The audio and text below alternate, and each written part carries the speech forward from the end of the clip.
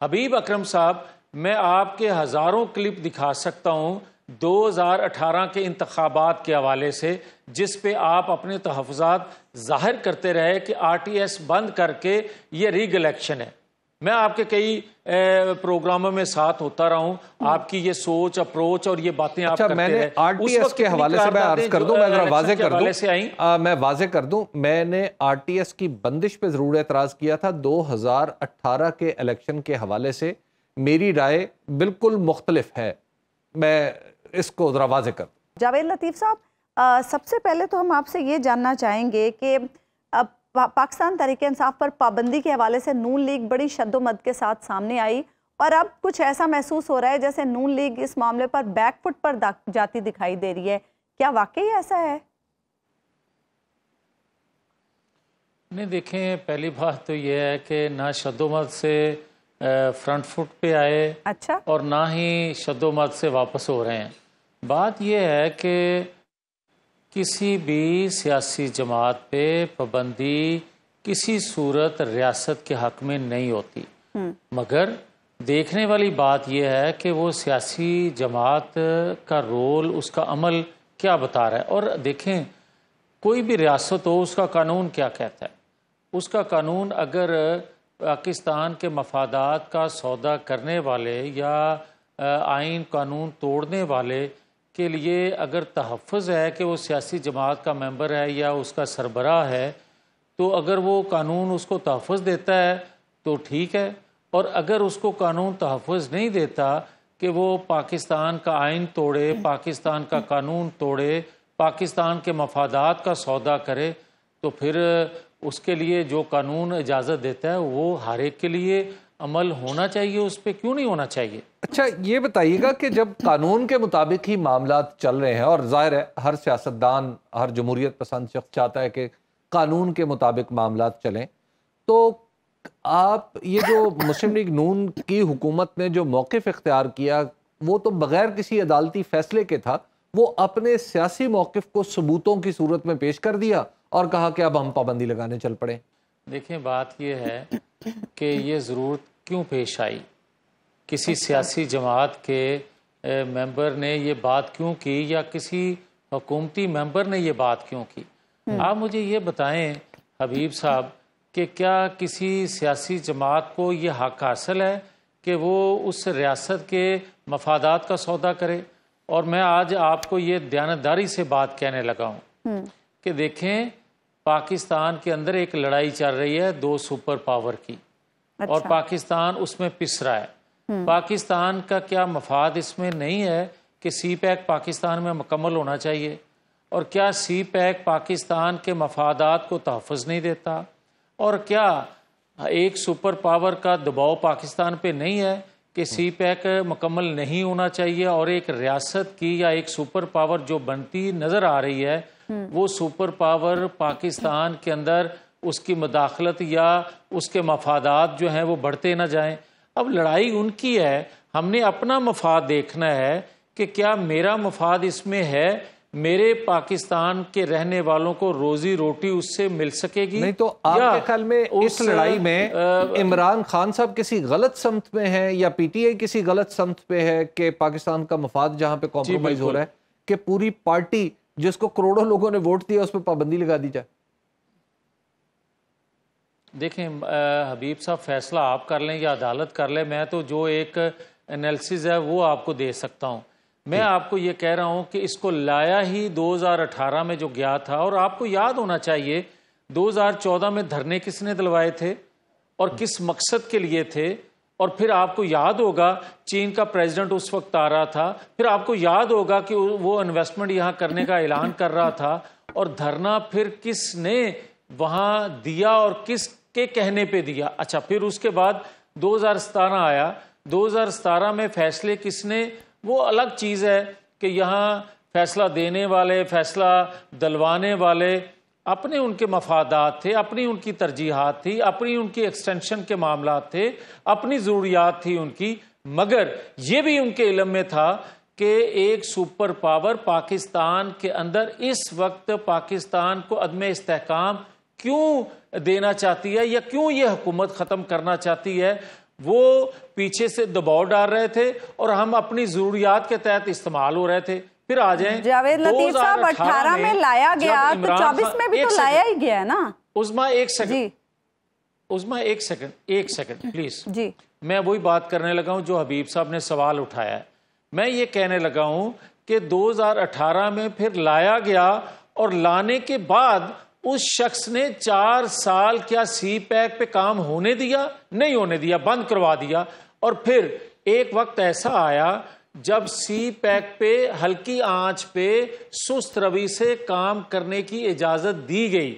अब हुआ ये कि जब काम करने की फिर से सी पैक पे उन चार सालों में इजाज़त मिली तो सुपर पावर नाराज़ होकर न्यूट्रल हुई और यहाँ के लोग भी न्यूट्रल हो गए और जब उन्होंने न्यूट्रल हुए तो मासूफ के खिलाफ अदम अतमाद की तहरीक कामयाब होगी और तहरीक कामयाब होने पर उसने मीर जाफ़र मीर सादक उनको कहा जिनको कहा वो खुदा जाने उसके सारे मनसूबा में वो किस हद तक इन्वॉल्व थे किस हद तक उनका एग्रीमेंट था ये तो वो बता सकते हैं हम्म। मगर मीर जाफ़र मीर सादक वो उनको इसीलिए कहता रहा कि आप भी सारे मेरे साथ शामिल थे हम्म। आज मुझे अकेला छोड़ दिया और आज जब उसने दोबारा लॉबिंग की वो लॉबिंग फर्म हायर की उसने करारदाद कांग्रेस से मंजूर करवाई तो उसमें यह कहा गया है यकीन दहानी करवाई गई है कि अगर मुझे दोबारा लाया जाए हम्म। तो मैं सी पैक फ़ेज़ टू पे काम नहीं होने दूँगा। अच्छा ये मुझे बताएँ ये बताएँ पाकिस्तान की असम्बली में भी इतने अरकान हैं। क्या पाकिस्तान की असम्बली में लॉबिंग करके तकरीबन मुतफ़ा तौर पर कोई करारदाद मंजूर करवाई जा सकती है? देखें जब तक आप बदकिस्मती ये है कि हम अपने मफादात कम देखते हैं हम्म। दूसरों के मफादात का तहफ़ ज़्यादा करते हैं ये बदकिस्मती है वजह हम्म। कि हम ले के खाते हैं किसी से हम्म। जब ले के खाने वाली कौम या ले के खाने वाली रियासत हो और उसकी लीडरशिप से लेके नीचे तक सारे के सारे मफादात देखें पहले अपना और उसके बाद पाकिस्तान का जो पचहत्तर सालों में होता है जिसकी वजह से यहाँ तक हम पहुँच गए हैं तो फिर यही कुछ होता है। फिर। रियासत जिसकी आप ज़िक्र कर रहे हैं जिस असम्बली का वहाँ से कंसेंसिस नहीं होता। कंसेंसिस उन ममालिक में ही होता है कि हुकूमतें बदलने से उस रियासत के अच्छा, मफादात आप कह रहे हैं नहीं करते।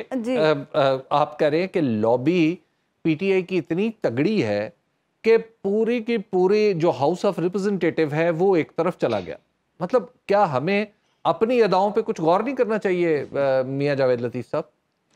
हमें हबीब हबीब अकरम साहब, क्या हमें अपनी अदाओं पे गौर करते करते इस हकीकत को नहीं जानना चाहिए कि यहाँ साइफर लहरा के हमने कितनी गालियाँ उनको दी, कितने इल्ज़ाम लगाए, फिर भी क्या उनकी कांग्रेस के सारे के सारे मेंबर जो थे अपनी रियासत के मफादात के खिलाफ करारदाद पास कर रहे थे उस बंदे के लिए पास कर रहे थे जिन्होंने उस रियासत को इल्ज़ाम दिया उस रियासत को गालियाँ दी और उसी के हक में करारदाद पास हो रही थी। वजह यह थी कि उस वक्त भी मिल के ये सारा कुछ किया गया था और आज भी उनके मफादात का तहफ़ करने लतीफ साहब एक बात मेरी समझ में नहीं आ रही है। तरीके इंसाफ मुस्लिम लीग नून और पीपल्स पार्टी के मुकाबले में कल की जमात है। खान साहब आज इतने पॉपुलर हो गए आज इतनी बड़ी ताकत बन गए कि बैन अवी दुनिया से उनके लिए आवाज़ें उठ रही हैं। फिर यूएन वर्किंग ग्रुप की रिपोर्ट आ जाती है कांग्रेस की करारदाद आ जाती है। अब ये खबरें भी आ रही हैं कि यूके की पार्लियामेंट में भी डिस्कशन होगी पाकिस्तान के इलेक्शन पर। और भी ममालिक में हमारे इलेक्शन के हवाले से सवाल उठाए जा रहे हैं। क्या इतनी इतनी ताकतवर कैसे हो गए? मुस्लिम लीग नून और पीपल्स पार्टी की ताकत कहाँ गई? अजमा उज़मा मुझे ये आप सिर्फ़ बता दें क्या पाकिस्तान के अंदर हमारी हुकूमतें ख़त्म नहीं होती रही? की नहीं जाती रही? तो वो तो क्या उस वक्त करारदाद उस वक्त कोई स्टेट मेरी एक सेकंड ना एक सेकंड मेरी बात सुन लें पहले।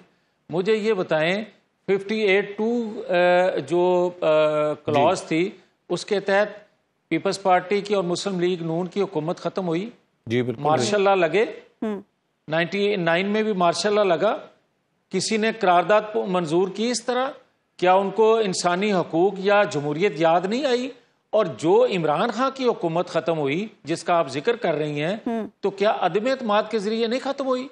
और अदम अतमाद जो एक आइनी तरीकाकार है उसके तहत ख़त्म होने के लिए वाली हुकूमत के लिए तो ज़मीन आसमान एक हो रहा है। और जो गैर आइनी तरीके से हुकूमतें ख़त्म हुई उनके लिए कोई नहीं वो वो मसला नहीं उसके साथ इलेक्शन भी है।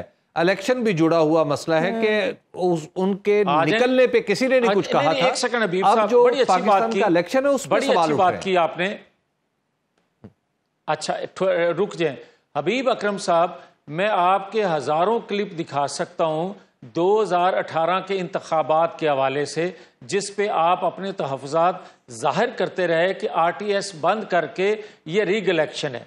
मैं आपके कई प्रोग्रामों में साथ होता रहा हूँ। आपकी ये सोच अप्रोच और ये बातें अच्छा, आप मैंने आरटीएस के हवाले से मैं अर्ज़ कर दूँ मैं जरा वाजे कर दूँ। से आई? आ, मैं वाजे कर दूँ। मैंने आरटीएस की बंदिश पे ज़रूर एतराज़ किया था। 2018 के इलेक्शन के हवाले से मेरी राय बिल्कुल मुख्तलिफ़ है। मैं इसको जरा वाजे कर ये बताएँ आप बता दें कि 2018 के इंतबात रिग नहीं थे? नहीं मैं उसमें रिगिंग का एलिमेंट उस तरह नहीं समझता जिस तरह पाकिस्तान मुस्लिम लीग नून समझती है। मैं इसलिए बात चूँकि उस तरफ़ हो नहीं रही अच्छा, मैं इसलिए आगे बढ़ाते था अच्छा आप नहीं नहीं एक सेकंड जी। नहीं नहीं 2018 के इंतबात और 2024 के इंतबात में कोई फ़र्क नहीं है। नहीं अच्छा, 2024 के बाकायदा रिग्ड हैं और जिस असम्बली में जावेद लतीफ़ साहब आप बैठे हुए थे अप्रैल 2022 के बाद उस असम्बली के पास और उस हुकूमत के पास पूरा इख्तियार था कि 2018 का इलेक्शन खोलती हम्म। क्योंकि उस असम्बली में बैठते ही आप सब लोगों ने एतराज़ात ये किए थे कि ये इलेक्शन रिग्ड है। अच्छा। आपने वो इलेक्शन रिग्ड इख्तियार अच्छा, होने के बावजूद उस इलेक्शन को नहीं खोला। अच्छा एक सेकंड एक सेकंड। आपने याद होगा सुना होगा कि 2013 के इंतबात के हवाले से यह कहा जाता था कि ये रिग्ड है इलेक्शन। जी बिल्कुल पीटीए का मौकफ था और उस वक्त और मैं कहता था कि इलेक्शन दुरुस्त है। अच्छा एक सेकंड फिर हमने उस पर जुडिशियल कमीशन बनाया ना? जी बनाया। हम्म। बना बनाया? जी। और 2018 में जब पीटीआई की हुकूमत बनवाई गई तो हमने कहा कि ये इलेक्शन रिग हैं। तो क्या उस पर कोई कमीशन बना? जावेद लतीफ साहब हुकूमत आपके पास आ गई थी। आप सब कुछ कर सकते थे। अच्छा, आप हुकूमत में मिनिस्टर थे। आप आप अठारह एक सेकंड आप जो अठारह माह की हुकूमत है उसमें नौ माह तो निकाल दें जो जनरल फैज और जनरल बाजवा साहब अच्छा, के थे। वो तो आपकी हुकूमत और उसके बाद जो सहूलतकारी होती हाँ। रही आप देखें कि उसके बाद जो सहूलतकारी आज तक मैसर है उनको वो सहूलतकारी इससे पहले कभी किसी जमात को रही है?